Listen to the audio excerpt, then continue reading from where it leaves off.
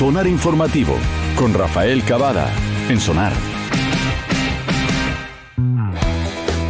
7 con 37 minutos, estamos eh, de regreso en este sonar informativo. Está con nosotros Felipe Vergara, que es analista político y doctor en comunicación de la Universidad Andrés Bello. ¿Cómo estás, Felipe? Muy buenos días. Muy buenos días, bien, frío. Sí, estaba en el proceso de, de ponerme la chaqueta porque está medio frío. A ver, eh, ¿cómo debemos leer lo que está ocurriendo en Francia? Eh, y, cómo no parar y mirar también lo que ocurre al otro lado del canal, digamos, lo que ocurre.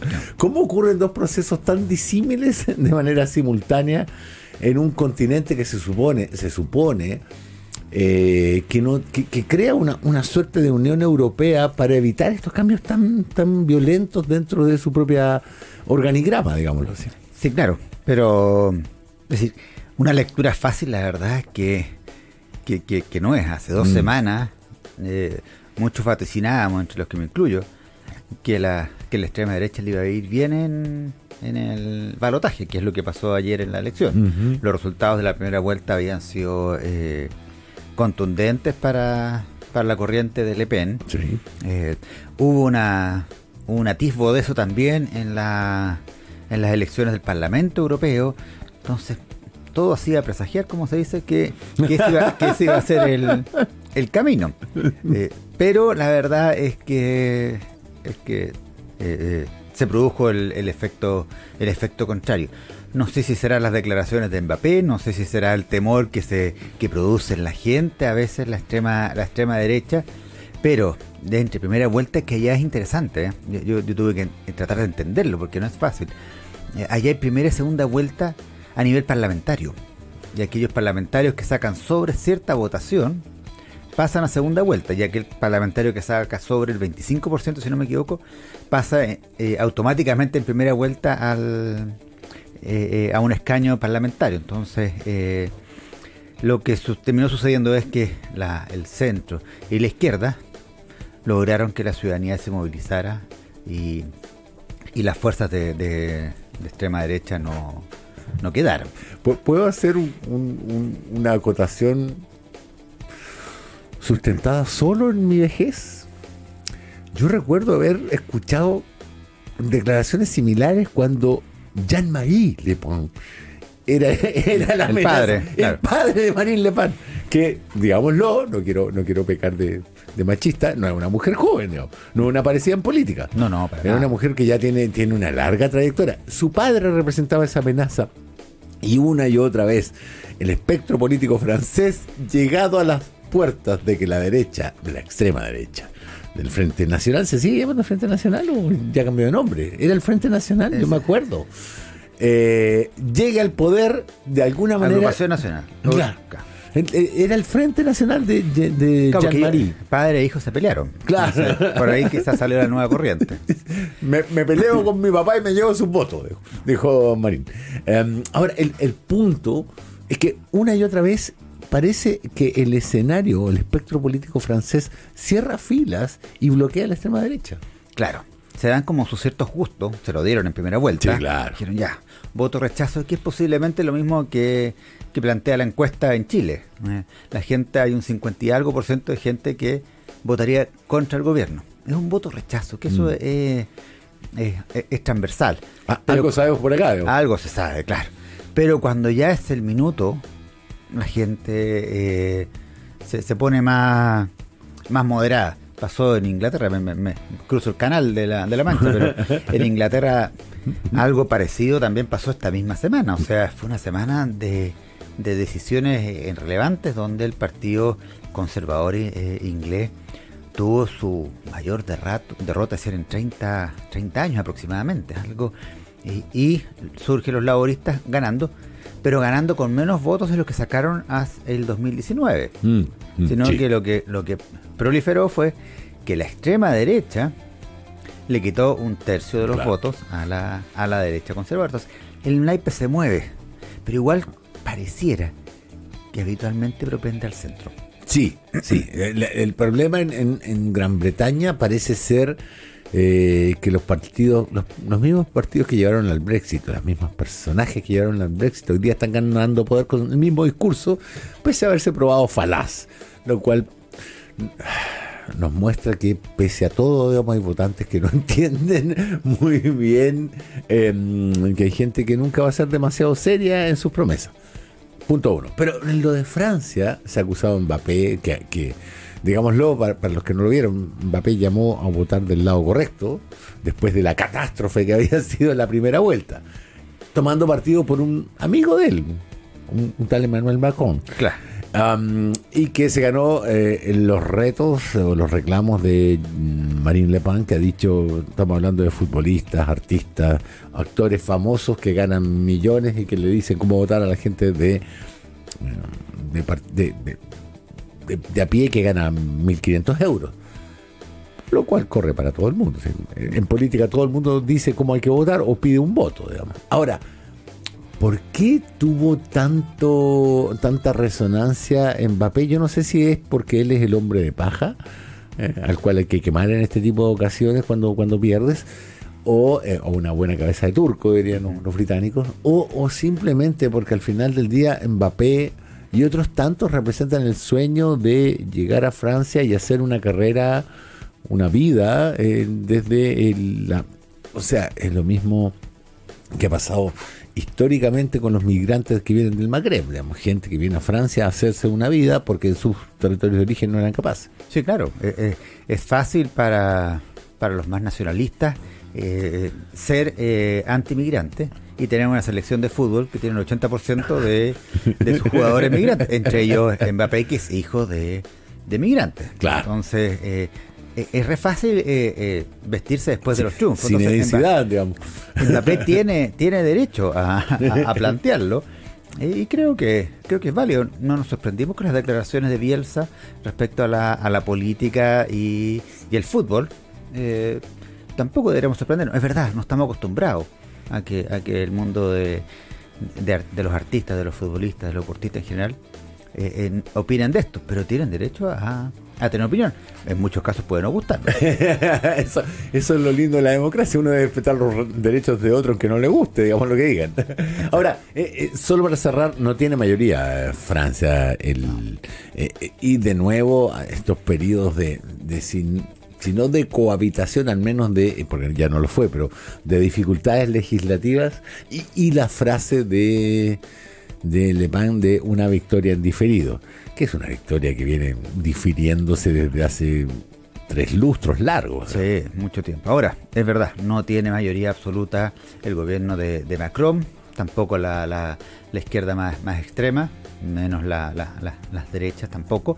Eh, y eso también es complicado a veces para, para gobernar y, y, y requiere de, de, acuerdo. Y escuchando al, al líder de la extrema izquierda ayer, eh, tampoco lo vi con muchas ganas de, de, de, generar acuerdos con el, con el centro de, de Macron. Y eso siempre es más enredado. Sí, claro. cuando, cuando, no eres la mayoría que, que espera. Ahora, en Chile, 52% creo que es la cifra de personas que eh, votaría por un candidato de oposición al gobierno en las próximas elecciones. Esto a un año y ocho meses, un año, casi dos años, pero no dos años, de las elecciones con una clara eh, ventaja de Evelyn Matei por su más cercana perseguidora, según la criteria, fue la última encuesta que le dio a um, Michelle Bachelet un 9%, que en realidad es muy poco frente a un 28%, pero que solo demuestra eh, la catastrófica caída de Cast, que ha bajado de cinco puntos en los últimos seis meses sin posibilidad. O sea, con una tendencia claramente marcada en las encuestas.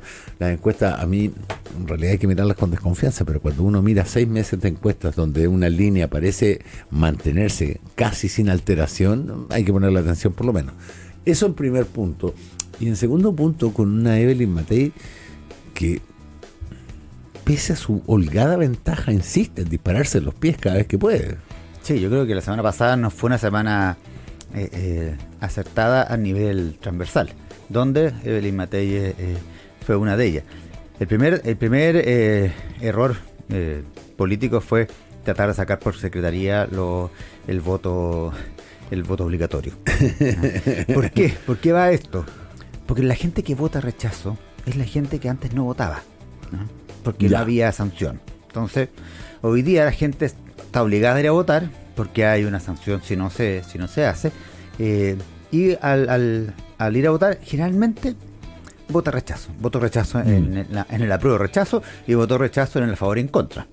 O sea, es, es un voto eh, anti-establishment, es gente descontenta. Mm. Eh, y por eso, creer que con eso, eliminando eso, se, se mejoraba a un, a un sector, en este caso a la, a la izquierda, eh, es un error evidente que la encuesta sí lo demuestra. Y paralelamente, la, la alcaldesa eh, Matei eh, eh, sale con una frase que es real, es real. Prometan, prometan y sigan prometiendo. Es como el, sinónimo antónimo de mientan, mienten que algo queda. Es prometer, prometer. Y eso también es la causal de por qué la gente termina votando rechazo o votando en contra de quienes hoy día representan el establishment. Entonces la gente en la actualidad está descontenta con el gobierno, razones, razones tiene, por ende el candidato que vaya por el otro lado va a ser un candidato que les va a generar eh, afinidad.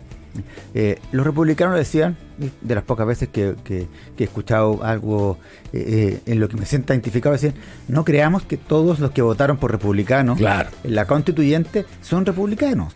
Hay un voto rechazo, yo voy a votar contra, contra el establishment tradicional. Mm, y, eso sucede. Y en el caso de Cast, yo creo que que no, no logra mantener su, su, su campaña eh, con, fuerza, porque la verdad es que se replica algo de lo que pasa en Europa, se replica algo de lo que pasó acá en, en, Latinoamérica con, con, Brasil, y hoy día está en Brasil mm. y, valora a, Bolsonaro pese a que los últimos días hasta se le acusó y se le está persiguiendo por robarse eh, regalos de la de la Casa de Gobierno eh, brasileña. Eso al final le termina a la gente también molestando. Ya, ya pasamos de la conspiración para no reconocer una votación al simple raterismo. a robarse los regalos que llegan para el Estado brasileño.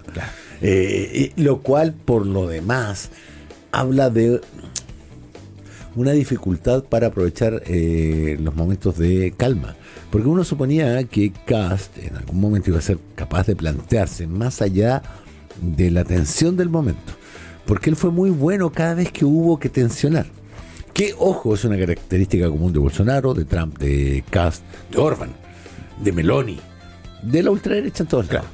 Pero en Chile, donde tendemos a ser más cuidadosos con las formas, digámoslo así, eh, uno decía ya, pero hay que ver qué va a hacer Cast en los momentos donde el estrés no sea de lo determinante, sino en la hora de plantear ideas. Por supuesto, aquellos que esperábamos ver eso tuvimos una, una desilusión seria en el debate con, el actual presidente Gabriel Boric, cuando no tenía claro ni siquiera qué cosas figuraban en su programa. Pero con más tiempo para planificar, uno suponía que él podía ser capaz de diseñar nuevas vías y ha demostrado ser absolutamente incapaz. Eso para mí es la, razón principal de que simplemente Matei se haya posicionado de una manera que a mí me parece para a esta altura del partido inalcanzable para acá. Sí, claro. El, plantear crítica gratuita en Chile y en el extranjero, que es lo que ha hecho Cast, sin que eso vaya asociado a, propuestas, es lo que a la gente le terminó, eh, creo yo, molestando. Lo que no significa que igual ha logrado posicionar a ciertos personajes de su sector. Mm, lo hizo en Maipú, lo hizo en Las Condes, con bastante fusilidad, y mm. veo a un Chile Vamos que todavía no logra eh, en esos nombres eh, hacerle eh, un cierto gallito, decirle, espérate, es mi candidato o mi candidata la que debe ir. Y no, eh, ha sido mm. los republicanos los que han ido marcando pauta en la, en la próxima elección de, alcaldes y de gobernadores. sí, Basaletti en Maipú. el, ex, general, claro. Sí, sí, sí, yo, yo estoy de acuerdo. Y, la última, en, en esa misma línea, es cómo hace eh, Evelyn Matei para mantener. Yo lo digo pensando en que su ventaja hoy es indiscutible, pero que un año, ocho meses antes de las últimas elecciones no estaban en el panorama los que llegaron al, a la recta final. Y hoy por hoy, y Axel Callis, que, viene el Sonar Global todos los lunes acá, dice es mejor irrumpir que estar. Antes había que estar en la foto, hoy es mejor irrumpir en la foto. Y tanto eh, Evelyn Matei como eh, Cast han estado mucho tiempo en la foto y no han logrado irrumpir en las últimas elecciones. De hecho, Cast irrumpió en las últimas elecciones y desde ahí no ha vuelto a posicionarse con la ventaja que tuvo en ese momento. Sí, claro, el mejor ejemplo de eso es eh, Soledad Alvear y, Ah, y. Michelle Bachelet. O sea, Michelle Bachelet se logró subir a un tanque y pasó de ser una ministra desconocida, primero ministra de Salud y después ministra de Defensa, a la candidata que en pocos meses doblegó a, a Soledad Alvear, que era el- el- la, la- la carta la carta segura. Entonces, eh, hay que tener cuidado. Yo creo que, que, que Beli Matei debe buscar lo que logró el año pasado, que es la moderación y la mirada un poco más eh, eh, hacia el centro, y no la confrontación con el, con el gobierno, tan, tan beligerante y tan, tan vehemente como a veces se puede, se puede mostrar. Eh, cuando uno tiene un discurso más moderado, sabiendo cuáles son sus corrientes, y nadie puede eh, desconocer que, que Billy Matei es de derecha y es, eh, es UDI, eh, pero cuando logra esa moderación, le genera mayor simpatía. Es cuando creo Evelyn Matei ha logrado eh, crecer más y no, y no estancarse. Tiene la oportunidad que en, el- en, su en el- en la oposición a ella, o sea, lo que es hoy día la, la alianza de gobierno, ningún, ninguno de los candidatos supera el 7-6%. Porque no digamos que la presidenta Bachelet es candidata. No. O sea, eh, eh, eh, ante el vacío, una vez más, eh, surge Soa Bachelet como, como, como la opción, pero, pero eso no es sano, no es respetuoso para, para con ella tampoco. O sea, Claro. de- de- dejen descansar si es lo que ella misma ha planteado. pues, ¿ah? Entonces, eh, Yo ya ese- hice el servicio militar dos veces. dijo Claro, ya la segunda vez dijo, dejó a las Naciones Unidas porque en realidad estaba ya en un minuto que quería quería mirar con tranquilidad desde Chile. Entonces, ese ese es el escenario muy favorable para para Belín Matei eh, y que debiera propender entonces a que la gente no tenga miedo a la gente de centro y eventualmente centro izquierda de votar por ella en primera vuelta, porque si va ella y va Cast, es posible que, bajo, pero es posible que Cast tiene un voto duro del 25%, 26%, que fue el que le permitió pasar a primera vuelta en la elección recientemente pasada Mm. de, de presidente. Entonces, con ese voto duro, si la derecha va dividida y la izquierda va sólida, quizás ella no pasaría. Entonces, debiera mirar un poco más hacia el centro que, que- que estar eh, confrontándose permanentemente con el presidente Boric o con, o con los ministros o con frases como, como estas poco, Mm. poco acertadas y que todo su equipo también mire a la, a la, a la moderación y no a la, no a la confrontación. En verdad que creo que eh, eh, la sociedad ha demostrado que, que buenos diálogos generan, generan mejores resultados que la, que la be- beligerancia extrema que es muy atractiva, pero de muy corto plazo. Lo, lo acabamos de ver en Francia. La, la pregunta es: ¿es José Antonio Cast un jugador de equipo? No, Republicano no es jugador de equipo. Ellos ponen su, ellos ponen sus términos y tuvieron que bajar a la alcaldesa de Las Condes. Convengamos que la, la ex ministra eh, Cubillo, hoy día candidata, no es militante del Partido Republicano. Pero no conozco a nadie que no diga que no es eh, afín a los republicanos. Da lo mismo si eres independiente o no, pero, pero ella y lo, la, la impusieron. ¿ah? Cuando los republicanos te consideran de los suyos, no necesitas declararte republicano. No, para nada, para nada. Y eso pasa en varias partes y va a seguir pasando en varias comunas. ¿ah? Entonces, eh, eh, ellos no tienen esa, esa característica eh, en una sociedad que hoy día se mueve con el trabajo en, en equipo y es un, un activo. ellos no tienen esa característica. Ahora, tienen un público cautivo que les compra eh, absolutamente todo y tienen una capacidad para salir jugando, no con un buen equipo necesariamente, pero son, hay un ex convencional acusado de abuso sexual, otro que no pudo asumir porque por, también por estas acusaciones, hay otros que, que- que están involucrados en temas de, de, de las tarjetas de, de benzina y lo que hacen es renunciar al partido Ah, pero, siguen siendo republicanos. Entonces, Claro. eh, eh, Claro. eh, es una ganada corta. pero, pero esa, esa desvergüenza la mostraron desde el primer día Gonzalo de la Carrera y Johannes Kaiser, diputados republicanos que dijeron "No, ya no somos republicanos, pero almorzamos, comemos, dormimos y convivimos con los republicanos las 24 horas del día. Y votamos con ellos. digamos. Claro. Entonces, eh, en ese sentido, bueno, es que cuando se deja de pedir coherencia, lo que ocurre es que el dejar de ser coherente es algo que no, no solo le compete a los republicanos, Y- y- debería competirle a todas las personas No, políticas. esto, esto, esto evidentemente es transversal. Mm. Uno lo sabe. Lo que pasa es que esto es un partido más nuevo. Supuestamente venía con, con las buenas prácticas y era parte de su, de su discurso. Y tenemos una sociedad que está desesperada. ¿no? Está desesperada porque tiene hambre, porque tiene eh, desazón, porque está afligida.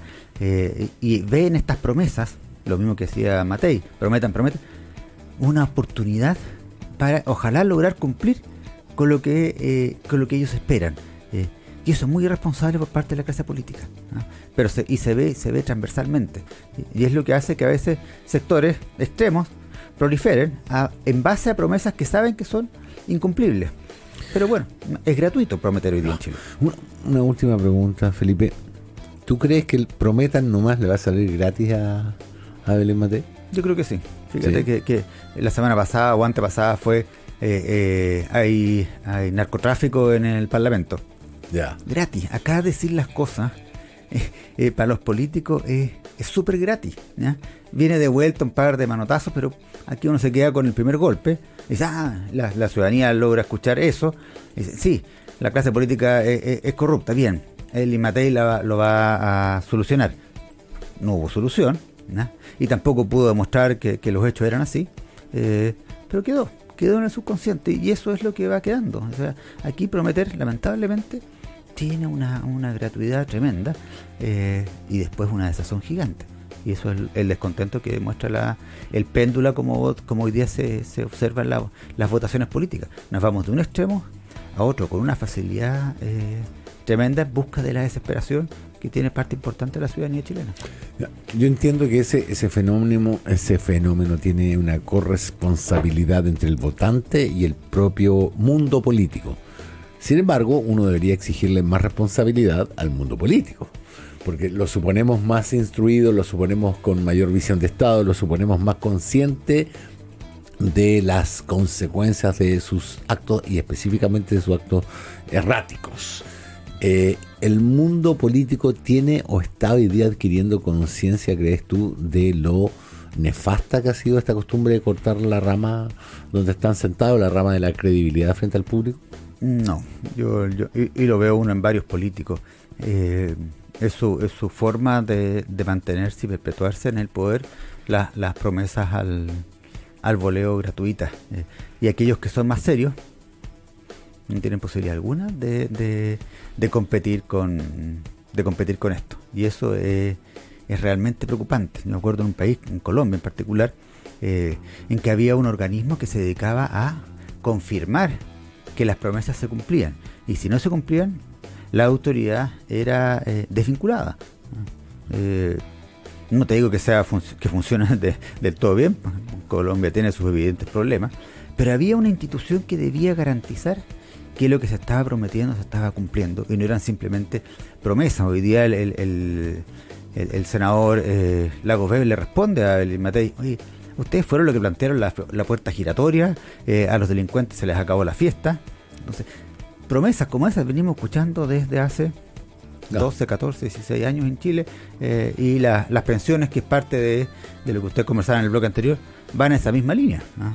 Todos están prometiendo y sacando su rédito y no mirando realmente la, la- la proyección a futuro.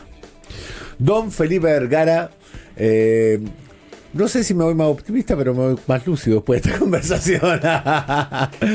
Doctor en Comunicación y académico de la Universidad de Andrés Bello, muchísimas gracias por haber venido un lunes tan temprano y con este frío. Hace todavía como cero grados acá en Santiago. Muchas gracias.